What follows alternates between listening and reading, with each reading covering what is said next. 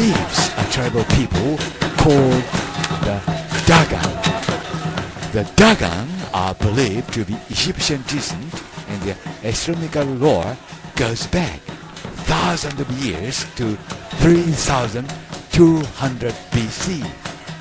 According to their traditions, the star Sirius has a companion star which is invisible to the human eye. This companion star has a 50-year elliptical orbit around the visible Sirius and is extremely heavy. It also rotates on its axis. But how come did the Dagon know this fact? The Dagon are very strange people, aren't they?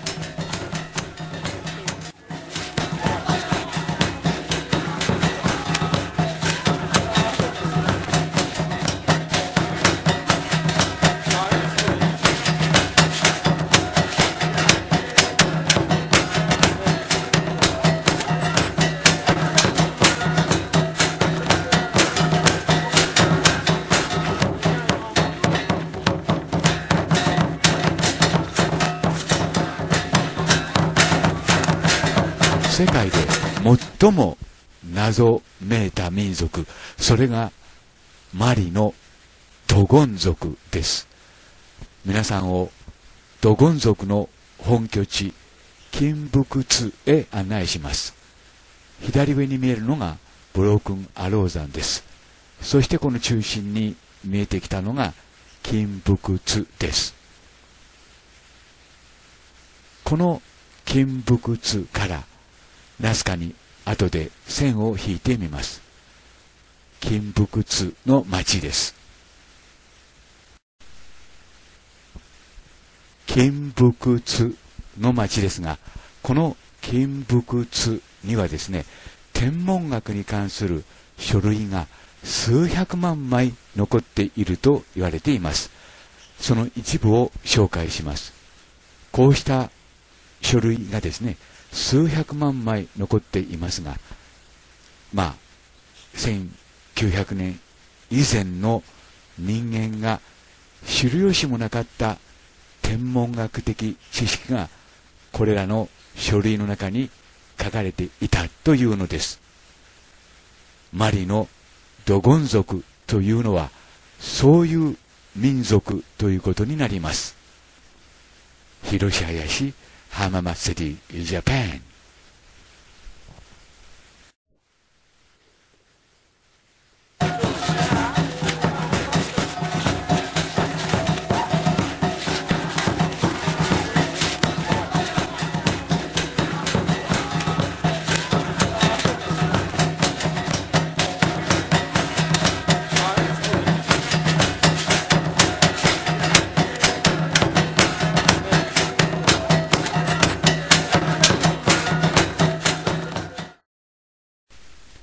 その金福津の中心地と思われる地点からナスカに向かってラインを引いてみます。今ご覧いただいているラインがそのラインです。そしてナスカ高原です。右端に見えるラインが金福津から引いてきたラインです。このラインはナスカ高原の中でもグランドクロスと呼ばれる最も目立つラインの横軸と正確に、正確に、正確に重なります。注意深くご覧ください。もう一度やってみます。この金福津からのラインは、ナスカのグランドクロースの横軸と正確に、正確に、正確に重なります。なお、縦軸は言うまでもなく、USA のエリア51からのラインと正確に、正確に、正確に重なります。つまり、私のナスカ理論によれば、金福津という拠点は、古代エイリアにとっては大変重要な拠点だったということになります。続く動画をどうかご覧になってください。Bye for now.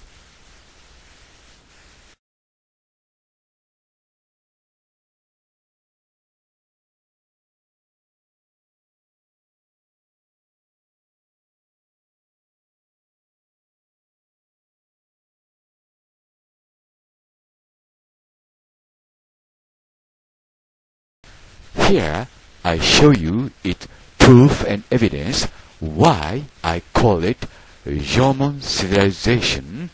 though Japanese archaeologists never accepted to call it Jomon civilization. It is Jomon civilization because it is so. 日本の考古学者はそれが縄文文明であるとは 決して認めませんが私林博氏はそれをあえて縄文文明と呼びます。ここにその証拠と証明をお見せします。広し林浜松リージャパン。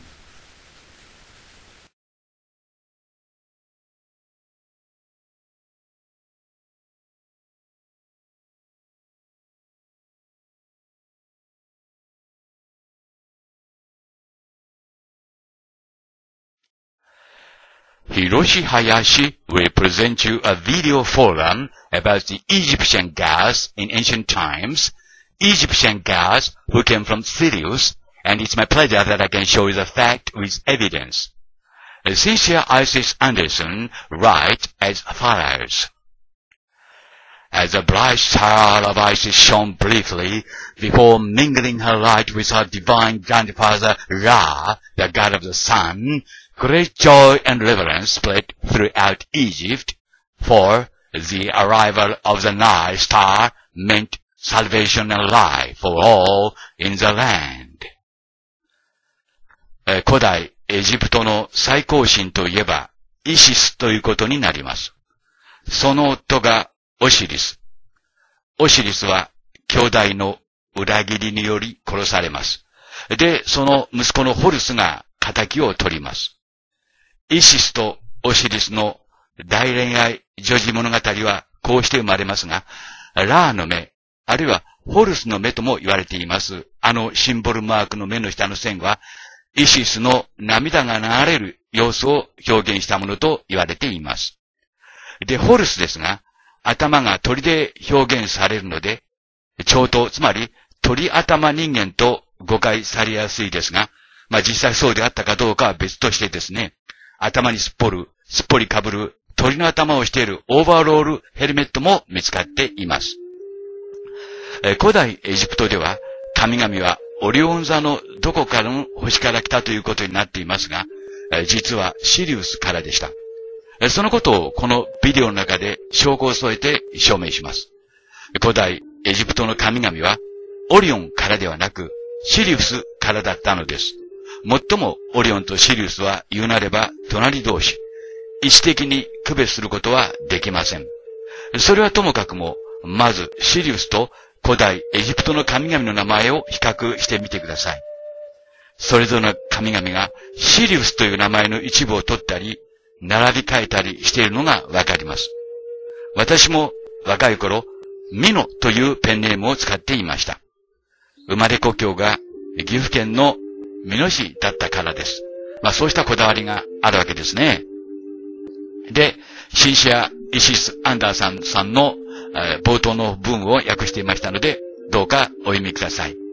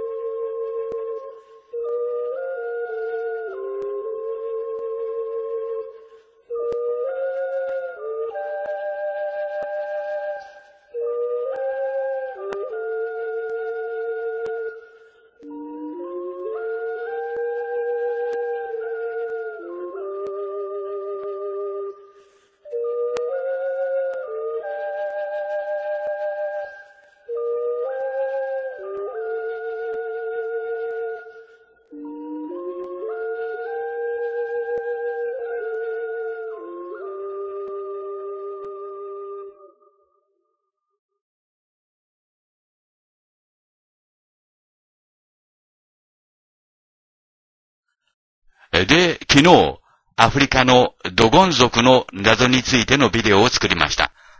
驚くべき謎を秘めていました。ドゴン族はシリウスが三重の、つまり三連星であることを知っていたのみならず、その公転周期も50日と正確に知っていました。さらに太陽系についても、例えば木星には和、間があること、そしてさらには木星の衛星についても詳しく知っていました。ドゴン族自身も昔シリウスから来たインストラクター、神がですね、神がですね、そうした事実を教えてくれたと言い伝えています。こうした事実、つまり、シリウスが三連星である、などといったことはですね、人間が近年になって初めて知ったことです。で、そのドゴン族の残したアーティファクトには、明らかにエイリアンと、あるいはエイリアンを思わせるものがあります。で、これが今、皆さんにご覧いただいているのが、そうしたその紋章な、紋章ということになるわけですね。で、それについて、まあ一部、詳しくはこの続くビデオの中で紹介しますが、ドゴン族とシリウスの不思議な関係という一部分を皆さんに紹介します。で、シリウスは最も、まあ、天空でですね、明るい星であると。で、それが二重星、まあ、二連星ですね、正しくは。三連星であることが分かったのは、1920年以後なんですね。三連星と分かったのは極めて近年です。で、ドゴン族はなぜこうした事実を知っていたかっていうことなんですね。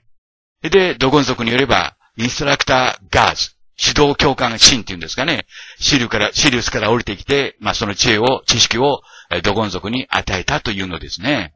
つまり、現代科学が知る前に、ドゴン族はその事実をはるか昔に知っていたということなんです。で、それを具体的に示したのはこの図ということになります。まあ、月のように衛星がまた衛星を持っているというふうにしてぐるぐる回っている。左がドゴン族の天空の、まあ、シリウスの模式図です。右が現在の科学で分かっているシリウスの模式図ですね。そして50日周期に元に戻るのだ、戻るのだそうです。まあ、こうしてですね、ドゴン族の残した文書と、それから現代科学の、まあ、で分かった事実とがですね、こうして一致した。すなわち、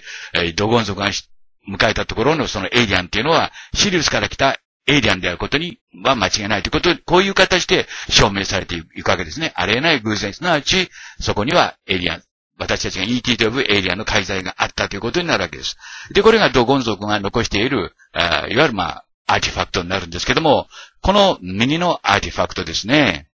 で、皆さんをカルナック、ナイルへと案内いたします。ここはドゴンです。で、そこから3900キロほど離れたところに、エジプトのナイル川沿いにカルナックがあります。冒頭に挙げました、イシス神の本拠地ですね。で、これがカルナックですけども、古い写真が手に入りました。で、ここの壮大な、まあ、寺院が建ってるわけですけども、このカルナックは皆さんご存知のツタンカーメンの、まあ、買って住んでいた寺院ということになります。で、このツタンカーメンについてですね、極めて最近新しい情報が入りましたので、まあ、それを簡単に説明いたします。これは、まあ、ツツですね。キングツタンカーメン。で、新しい事実というのはですね、実は、ツタンカーメンの母親の、まあ、いわゆるその、正体が分かったということですよね。で、それをこれから説明しますが、この、まあ、ミイラが見つかったことにより、DNA 鑑定が、まあ、済んで、そしてその結果として、今まで従来の説をひっくり返す説が浮かび上がってきました。すなわち、えー、ツタンカーメンのはですね、えー、一組の祖父しか持っていなかったということです。それを簡単に説明しますと、これが、あアメンアメンホテッテップ3っていうんですかね。そしてみんなですね、おばあちゃんです。クイーンティアです。そしてアクヘナティン、お父さんが生まれますね。そしてこのお父さんのまあ兄弟に6人の姉妹がいるわけです。その中の一人がネフェルティティであり、もう一人、名前わかりませんけど、右の Young Lady っていうふうに名前付けられている女性がいるわけですね。そのアクヘネテンと Young Lady の間に生まれたのがツタンカーメンであり、そしてネフェルティティとアクヘネテンの間に生まれたのがメリタテンということになるわけです。今まであの、いわゆるその、ツタンカーメンのお母さんは分からなくてですね、人間であったという説が有力でした。で、これがツタンカーメンの6人のおばさんということになるんですね。すなわち、右にいるのが、えツタンカーメンのお母さん、そして一番左にいるのが、えー、ネフェルティティですね。あの、ツタンカーメンの次の、まあ、妻にもなり、まあ、メディタ天の母親にもなるというわけです。で、これがツタンカーメンですけども、もう一度その、まあ、そうなってきますと、どれがね、あの、どの人ってことは分からなくなってくるわけですね。みんな頭が大きいということでですね、今まではメディタ天か、あるいはね、フェルティティかというふうに、まあ、言われていたんですけども、このように、まあ、ずっと並んで、まあ、ともかくも大切なことは、お父さんのですね、悪、悪変な点の兄弟がみんな姉妹はこういう頭をしてたいということですよね。そこが重要なんです。そういうことで、この、その中の一つの像ですね。まあ、おばかもしれませんし、ひょっとしたら、ネフェルティティかもしれませんし、あるいは、あメディタテンかもしれません。その顔とですね、えー、ドゴン族に残っているこのアーティファクトの顔と比較してみてください。全く同じであることに気がつく、気がつくんですね。で、皆さん自身で、まあ、判断していただきたいんですけども、ここが今日のポイントということになります。で、比較してみますと、まあ、後頭部の方へ頭が長いと。そして耳があると。で、これはですね、別、あの、後で申し上げますけども、別の謎を解く鍵になりました。で、口、頭が平べったくて、そして後ろの方に長いですね。後頭部の方に長いということです。顎のコンセプトも大変よく似ています。すなわち、えー、カーナックで見つかったこの像と、そして、えー、ドゴン族に残っているアーティファクトがこうして一致したということですね。で、結論をもう一度簡単に説明しますと、ここが重要ですから、えー、イシス、オシリス、そしてホルスと、まあ、いるわけですけども、ホルスはこれは overall helmet を被っていた何か理由があってね、被っていたのだろうと思います。で、この、いわゆるその、アイロブ、あフォルスの目がですね、これは涙を流しているイシスを表していると、私はそういうふうに考えます。えー、そしてですね、まあ、もう一度言いますと、イシス、オシリス、そしてホルスの名前をこうして並べています。そして中央に、えー、シリウスの、シリウスを置いて、シリウスという、まあ、スペリングと並べています。スペリングそのものをね、あの、並べて比較するのはちょっと危険なことですけどもね。っていうのは、あの、時代によってスペリングが違っているはずですからね。まあ、ともかくも、シリウスの部分的な一部分を取ってですね、そして文字を並び替えたり、して、この上の三人の神々の名前が決まっていると。まあ、こうしてまあ、これ偶然の一と言うべきなのか、そのまあ、スレスレのところだけどね、偶然の一はちょっと言い難いんじゃないかと思います。そして、え、ドゴン族の話に行きますけども、ドゴン族には、まあ、現在の科学でも、やっと分かったようなことをすでにドゴン族は遠い昔にしていて、そして彼らの神々がね、彼らが言うにはシリウスから来た神によって、まあ教えられたということなんですね。その証拠の一部がこうして今紹介されているわけですけども、この表のですね、まあこうして、まあこうした文書がですね、えーティブツ、ティブクツという町だけでも1万枚以上見つかっているというんですね。左がドゴン族、そして右がですね、現代科学で分かったシリウスの運行の様子を表したものです。で、まあ、こうして比較してますとですね、本当によく似てると言いますか、三連星がですね、あの、回って、まあ、その、ここれはもう極めて高度なね、天文観測装置あるもってわかりですけど、天文、望遠鏡がないとわからないことなんですね。望遠鏡があってもわからないかもしれませんよ。そして、あもう一つそこでエジプトに戻りますけども、これツタンカーメンですね。ツタンカーメン家族ですけども、左の上がおじいちゃん、そして右がおばあちゃん、そしてお父さんのアクエナテンが生まれて、で、お母さんのネフェルティ。これはあの、あ今度で、その最初のお母さんが、誰かヤンガーレイディって書いてます。そのお母さんと、えー、アクエネテンの間で生まれた、生まれたのがサンカーメンで、で、えー、アクエネテンとネフェリティっての間で生まれたのがメリタテンということになります。そしてこの真ん中にいるのがツタンカーメンの像ですけども、そして周りのおばちゃん、おばちゃんですね、おばちゃんたちと頭と比べてみますと、大変頭がよく似ていて、そして特にこの右の上の、あの、像ですね。これと、ドゴン族に残っているアーティファクトと、まあ、形が一致したと。すなわち、えーまあ、簡単に言えば、ドゴン族が言うように、えー、アフリカに降り立った神はですね、シリウスから来たということになるわけです。まあ、こうした証拠がですね、ドゴン族のアーティファクトの中から見つかったということですね。そして、まあ、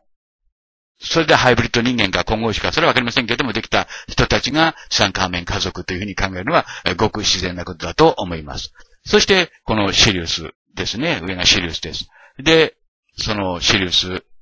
彼らは、すなわち、シリウスから来た ET であるということに、まあ、私は結論づけます。で、もう一つの事実なんですけどもね、じゃあ、今までエジプトでは神々はオリオンから来たということになっていると言われてますね。特にあの、ピラミッドの並び方はオリオン座と同じだ、などという説もありますけどもね。じゃあ、オリオンとシリウスの関係ですけど、右上がオリオンで左下がシリウスです。いわゆるまあ、まあ、隣なんですね。ですから、そんなに離れていない。ということになるわけですね。そこでちょっと、別の角度からですね、そのオリオンと、それからシリウスの関係と、それからピラミッドと、その、そのあたり、シリウスのあたりに何かあるんじゃないのかなと思って調べてみたんですけども、見た感じ、何もありませんでした。で、右上がピラミッドの位置ですね。そしてまあ一応、オリオンのまあ、位置にあると、ある、あるあたりを調べてみました。このような、まあ、何かしらの工事といいますか、発掘跡といいますか、これは何であるかわかりませんけども、まあ、これ現地行って調べるのが一番いいわけですけどもね、何か、こう、発掘の跡といいますかね、鉱山跡のようなものが、ここ、このあたりにあるということです。まあ、イコールこれがですね、オリオンの位置と、位置と一致するというわけでもありません。で、もう一度結論を申し上げますと、左が、えー、カルナックで見つかった、まあ、像ですね。そして右がドゴンで見つかったアーティファクトです。で、これが一緒、同じである。ということは、ドゴンの神様たちはシリウスから来て、そして、まあ、人間が知れない知識を残していったということですね。そしてその、まあ、同じ頭を持った人がですね、えー、カルナクに現れた。そしてがスタンカーメン家族だということになるわけです。それで一つだけこう注意しておきたいんですけど、ここで一つ謎が解けたんですね。これが、まあ、あの、メリタ天下、まあ、その、いわゆる、まあ、アクヘナテンの、まあ、姉妹。兄弟ということなんですけどもね。それと、右のですね、パラカスで見つかった超等人間の図鑑と比べてみますと、やはりちょっと違うんですね、形がね。ですから超等人間も2種類ある。なぜ超等になるかと言いますとですね、参道の大きさには限りがあるわけです。そして頭はね、どんどんどんどん大きくしようと思ったら、まあ、超等、長い頭になるしかないわけですね。まあ、人間の視覚系もやがて長い頭になるだろうと言われています。それはお母さん、母親側にね、参道に、まあ、限界があるもんですから。そしてですね、なぜこの頭は大きくなるかと言いますとですね、脳細胞っていうのは、あの、死滅しないんですね。死滅しないことによってて子供の頃の生活、性質をですね、そのまま大人になっても残せるわけです。ですから、脳細胞の数を多くすることが、まあ結局は長生きすればするほど、まあ長寿になればなるほど、脳細胞の数を大きくするために、えー、超等になるしかないわけですね。ですから、超等人間というのは、ある意味で、えー、知的生物の進化系だということにもなるわけです。もちろん産道が大きくなればいいんですけども、こうしますとまた母親に対する負担が大きくなります、なりますからね。ということで続くビデオをどうかご覧になってください。Thank you very much for watching and see you next time. Bye!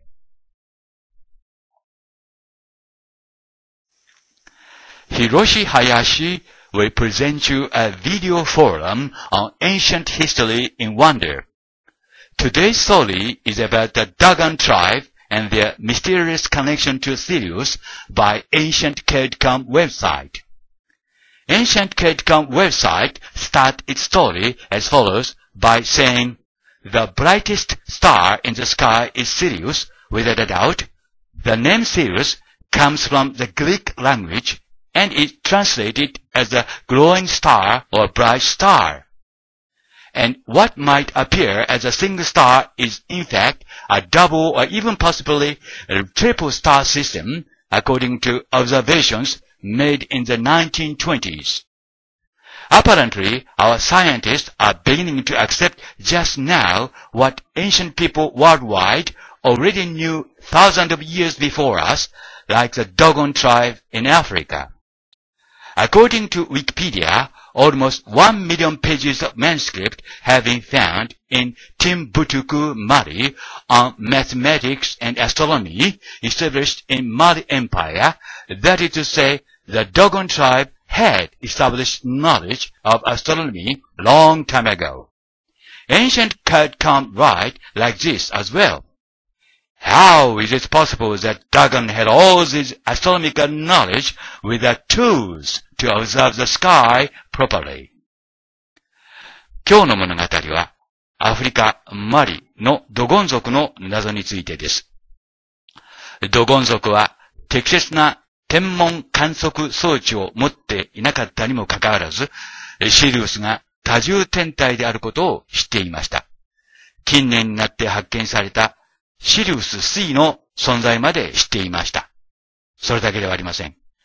50年ごとに、それらの三重星が元の位置に戻ることさえ知っていました。さらに、木星の大きさ、また、木星には土星と同じような輪、間があり、木星の衛星の数さえも正確に知っていました。そうした記録がティンブツクだけでも100万枚近い書類となって残っているというのです。驚きですね。で、ドゴン族の言い伝えによれば、そうした知識をドゴン族はシルスからやってきたインストラクター、つまり神ですね。先生神と呼ばれる神から教われ、教えられ、教わったというのです。世界には大パーツがたくさん残っていますが、ドゴン族が私たちに伝える知識は知識のオーパースと言えるものです。また、ドゴン族周辺からは奇妙なアーティファクトがたくさん見つかっています。精緻なビーズ玉でよく知られているドゴン族ですが、中には、というより、どれも異星人との深いつながりを示すものもたくさん発見されています。で、大切なことは、こうした事実から、その向こうにある理論を組み立てていくことではないでしょうか。発見した不思議だ発見した不思議だだけを繰り返していては、前には進めないということです。さらに言えば、こうした事実を活かすこともできなければ、私たち人間の先祖の知恵や知識を人間の未来に向かって役に立てていくことができないということです。つまりこうした情報を素直に拾い集めれば、その向こうにシリウスからやってきたエイリアンの姿をそのまま見ることができます。そういった意味でも、ドゴン族が伝える天文知識には重要な意味が隠されています。ドゴン族の伝える知識は紛れもなく知識の大パーツですね。で、今、このドゴン族の周辺から見つかったアーティファクトを見ていただいています。まあ、これを見てですね、人間というべきかどうかですけども、みんなですね、森本聡さんが見つけてくださいました、スウェーデンのゴットランドで見つかった、まあ、実に奇妙なアーティファクトです。現在、大英博物館にあるそうです。で、ここに、まあ、彫り、彫り込まれているエイリアン、まあ、博物館の方では怪物ということになっていますけども、と、ドゴン族の残したアーティファクトのそれと大変よく似ていることに注意してください。で、私はこれはですね、以前検証しまして、UFO の内部、それを、まあ、3D スカルプティングと言いますかね、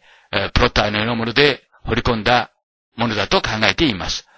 実にまあ聖地と言いますか、奇妙なブローチ。まあ、大博物館の方ではブローチと表現しています。大きさはわかりませんけども、ブローチ台の大きさだから、ブローチと言われているんだと思います。で、もうこうして見てきますとですね、シートベルトをつけたエイリアンが二人、えー、座っているのがわかります。そして中央にはですね、コントロールキー、あるいはその重力制御装置のようなものがついていると。私はそのように判断しました。というのはこれと同じものがですね、えー、デンマークでも見つかってますし、さらに遠く離れた、えー、マヤ、アステカでも見つかっているからです。まあ、それはともかくも、こうして比べてみますと、ここに、まあ、掘り込まれている、まあ、ここにですね、説明ありますけど、10世紀頃、えー、スウェーデンのガットランドで使われたものであると。で、ここに掘り込まれているのは、アニマルであると。動物であるというわけですね。まあ、それに納得するかどうか、あるいは逆にどちらがこじつけかという問題にもなるわけですよね。私がこれが、これをですね、UFO の内部だというのはこじつけなのか、それともここに振り込まれているのが動物、あるいはモンスターでもありますね。モンスターなのか。どちらか。どちらがこじつけかということですよね。まあ、その判断は皆さんにお任せしますけども、このゴットランドで見つかったブローチに振り込まれているエイリアンらしき、まあ、人物と、そして、えー、ドゴンの、まあ、発掘物の中にある像とですね、まあ、大変っていうかよく似てると。まあ、似ているというレベルでね、それ以上の証明はできませんけども、似ているということになります。いかがでしょうか？長い頭、低い頭、そして、奇妙な口ですね。そして、ドゴンの天文学に戻ってみます。まあ、こうした書類がですね、100万枚近くも見つかっているというんですね。一つの町だけで。で、それについてですね、えー、翻訳、これからあの資料を翻訳していますが、これはですね、ancientcode.com というところがですね、発行しているウェブサイトの中に、中の、まあ、あきち、まあ、こういう言い方は失礼かもしれませんけれども、きちんとした論文です。それを翻訳していますので、どうかお読みになってください。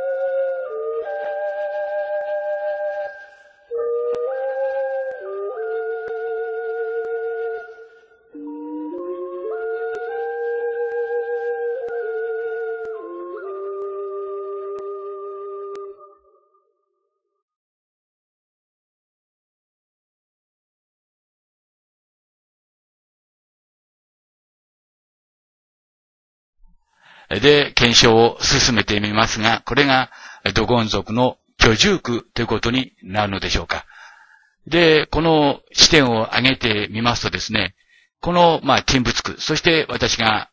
名前がわかりませんので、マウントアロー、矢の山と呼んでいる山がその近くにあるのがわかります。上の方ですね。で、今のところに、まあ、ドゴン族の居住区があるというわけです。で、ライン理論で簡単に説明してみます。で、もう一度この、テンブツクの町。右がテンブツクです。そして、左が矢の山。マウントアルロと私が勝手に名を付けています。その94キロ、この中心までがね、ありますけども、ここに奇妙な山があります。どうしてこの山が奇妙かと言いますと、この下の黄色い線、右に行けばエトフです。エジプトのエトフですね。私が、まあ、この壁画からですね、このエトフは宇宙へのエイリアンたちの、まあ、ハブ空港であると判断しました。そして、左へ行けばナスカです。そしてこの直線は、グラントクロスの上に寸部の狂いもなく重なります。縦線はポパカティピティすなわちティオティワカンのすぐ近くの山です。横線は、まあ、ティン、いわゆる、まあ、ティンプツクのそばを通ってエトフに行くということですね。ということで、今日は、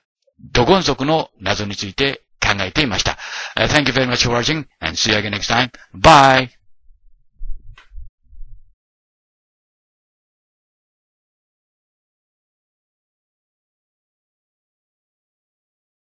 Mr. Nico Geraldi, Rome, Italy, wrote to me as follows.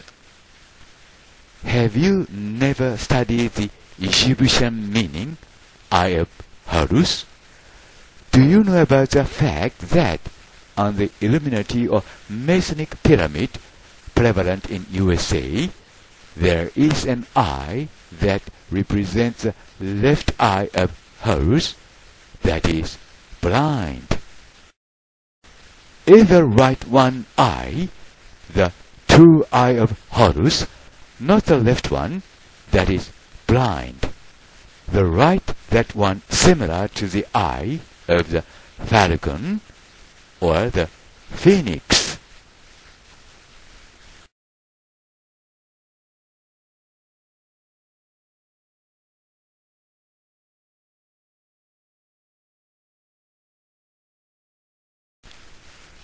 あなたは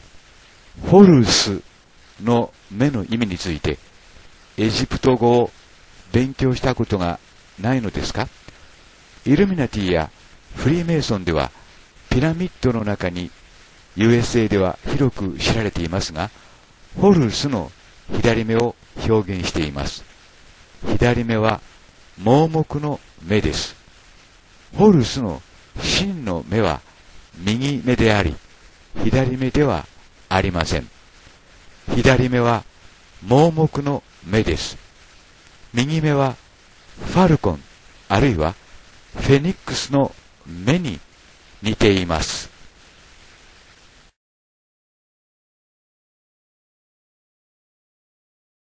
そうです。右目はファルコンの目で、オシリスの真の目です。ホルスの目はフェニックス神話を最もよく表現したものです。つまり、エジプト伝説によれば、目そのものがオシリスの一部を示しているということになります。言い換えると、彼の目は、セス、つまり暗黒の神がバラバラにした手足の一部にしか過ぎません。イシスはオシリスの一部と知るようになり、イシスはそれに新しい生命を与えるため、そのバラバラになった体を一つにまとめたのです。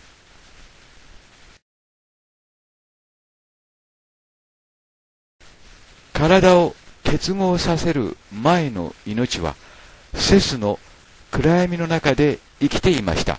で、セスは光のおかげで生き返ったのです。このことが理由で、ホルスの目は最短のシンボル、つまりアテフのシンボルと同一視されるようになり、同時にフェニックスは光のシンボルとなり、そしてその光が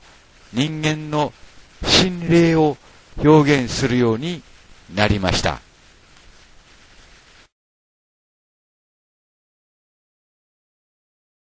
事実、ホルス、つまりラーの目はいくつかのケースでは、アトンの神のように光線を外に発する太陽を表しています。その光線は人間の顔を表した壺の中に入っていきます。つまり人間の心はこれらの光線で満たされているというわけです。ホルスの目はギリシャ語のホロに訳され別の価値を持つようになり結果的に中国語のタオ、銅のシンボルとともに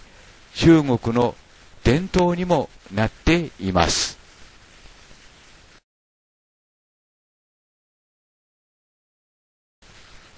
つまり、生命の二元論、目がちょうど二つあるように、カルツージュ、中、古代エジプトの花枠の装飾の中などに表現されています。また、神話の中でも、こうしたシンボルが表現されています。例えば、頭から外に出ている蛇、あるいは第三の目の表現などにおいてです。もちろん、目のシンボルは聖書の中に出てくる鷹はアポカリプス中ヨハネの目次録の表現に見られるようにエジプト語あるいは絵の中でも表現されています。以上林博が翻訳しましたがイタリア英語で意味がよくわからないところがありました。広し林浜祭りジャパン。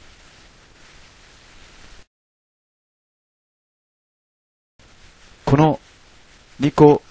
ジェラルディさんからの投稿を簡単に説明しますと、このホルスの目は右目か左目かということです。なんだ、そんなことかというふうに思われる方もいらっしゃるかもしれませんけども、右目か左目か、これが重大な謎を解く鍵となりました。もう一度、Eye of Prometheus、つまり、プロメテウスの目をご覧ください。フリーメイソン、そしてその上位団体のイルミナティのシンボルマークにもなっています。この目を丁寧に見てください。これは右目なのでしょうか？左目なのでしょうか？右目が神の目、そして左目は blind 盲目になっているというのです。もう一度、ホルスの目をじっくりとご覧ください。このホルスの目は右目ですね。向かって左側にある右目ということになります。そしてこれが1ドル札にすり込んであるプロメテウスの目、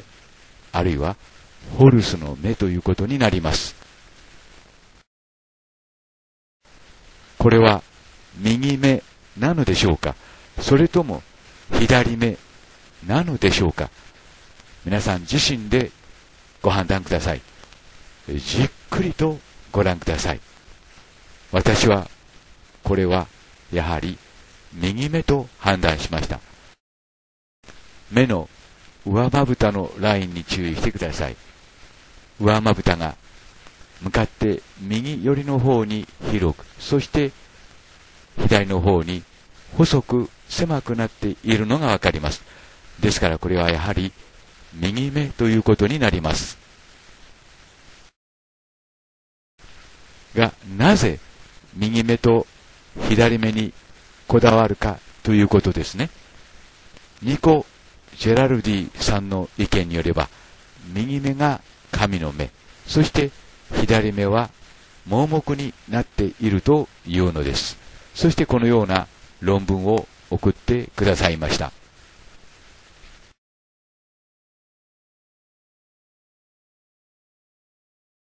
内容はともかくも、ではなぜ私がこうまで右目、左目にこだわるかということですね。実はそのことを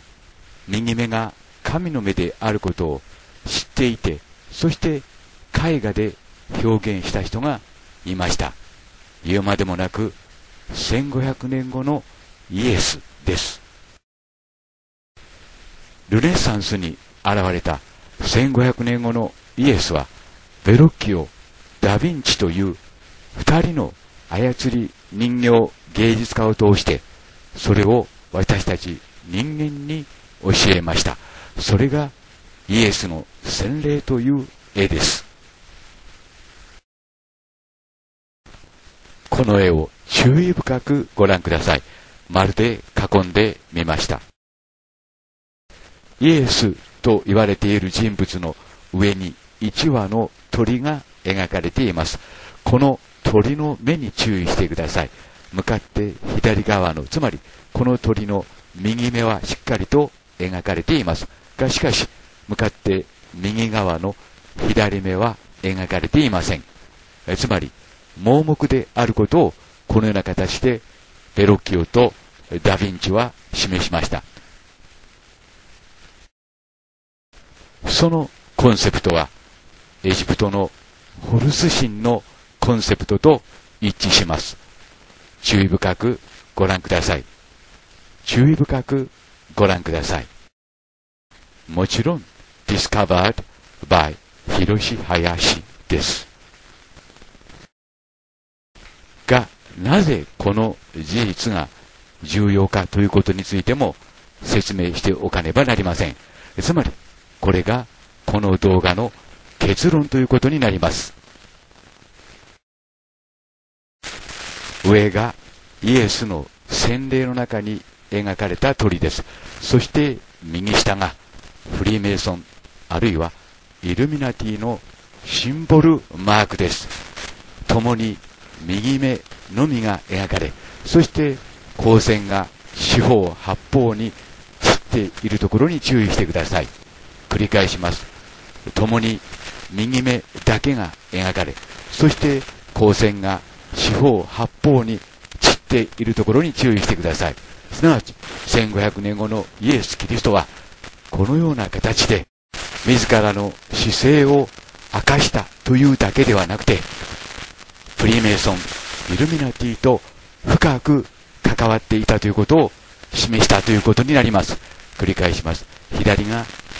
ベロッキオとダ・ヴィンチの合作と言われているイエスの洗礼の中に描かれている鳥です。そして右下がフリーメイソンあるいはイルミナティのシンボルマークです。このような形で1500年後のイエスはルネッサンスという時代にこの地球に現れて自らのアジェンダを私たち人間に示したということになります。Bye for now.